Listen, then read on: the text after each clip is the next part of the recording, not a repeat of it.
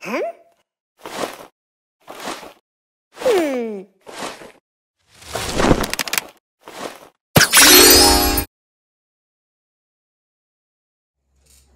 Hello, I'm Chase Sportsman. Today is February 14th, and welcome back to The Herd News. Today we'll be talking about the wacky week we have going on, including the 17th with an early out at 1 p.m., along with the Parent Teach Conference from 2 to 8 p.m. The 18th, there is no school, but VOTEC is still in session. The 19th, there's an FFA community breakfast, varsity basketball districts, and girls districts round one. The 20th is another varsity basketball districts game. The 21st is no school, and it's President's Day.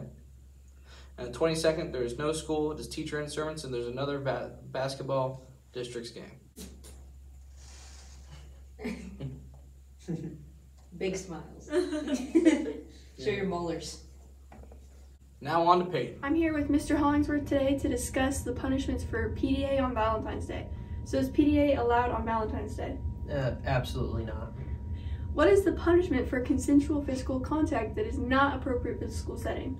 Uh, the first offense is principal conference, detention, or in-school suspension. And then after that, it's detention, in-school suspension, one to 10 days of OSS. You heard it here first. Do not do PDA at school on Valentine's Day.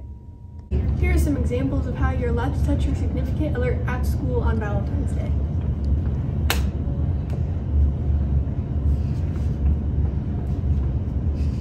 My name is Emma Bohina and I'm here with your weekly drama report.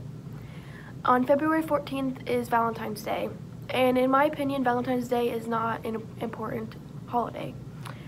I don't have a boyfriend, so obviously I'm not going to be cel celebrating it, and I feel like most people who do have relationships probably will celebrate it, but it's just like a regular old day. Um, love is very important, but having a whole day for it is just, I don't think it's it's all that great of a holiday. Valentine's Day does not need to be celebrated. Let's take a look at your Valentine's Day weather. In the afternoon, it's going to be a high of 43, and the low overnight is going to be 23 degrees. And love is in the air. Welcome to Cooking with Tammy and Anna. What did you make today? We had hamburgers and tri-tater patties. We had fruit cocktail, and we also had chocolate chip cookies today. Yummy. Another question, how did you, how did you clean up we usually clean up by making sure all the dishes are clean, all the countertops are washed, all the tables are washed, food is put away properly and safely. We also sweep and mop, shut things down because there's going to be a game tonight, so we make sure that's okay. We restock if we need to. Delicious. That was cooking with Tammy This episode is brought to you by Maryville Florist. Buy roses for $35 for your Valentine's and check out some colored roses and other assortments. Just off the square in Maryville. Warning. The following clips may contain scenes of public displays of affection. All scenes are staged with unpaid actors for comedic purposes. Some viewer discretion is advised. The job of the PDA police! Protect and serve the hallways from grotesque acts. How do we do this? Physical contact is appalling and sinful, sir. Good. You are officially a PDA officer. Hello? There's PDA in the STEM room. Get off him! No! I'm okay.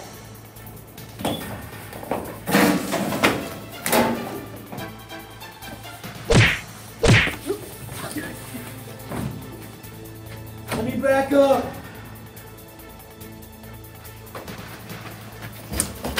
Oh, oh my. Oh, okay. PDA!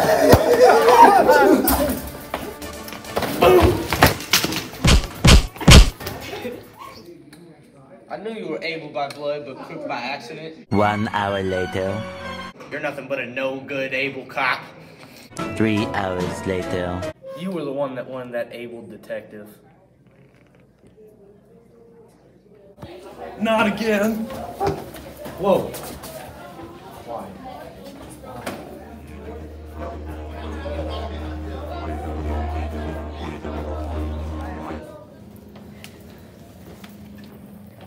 Whoa, this is a PDA free zone. That's my bad, officer. Oops. Are we all good now? Yeah, you're good. You're good. That's what I thought. Why are you out of class? It doesn't matter. I'll give you a hug if you let me pass. Hmm. Okay.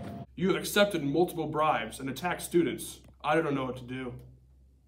That was a slow first few days. Do worse. Sorry, I'll do better tomorrow, sir.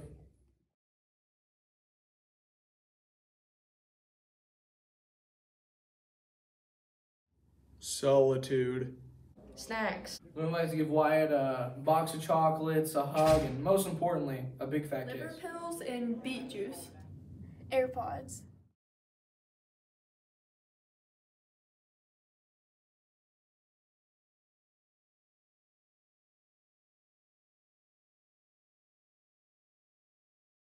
A magical time, eh? Eyeliner. A bouquet of flowers. Flicker's candle. Date night.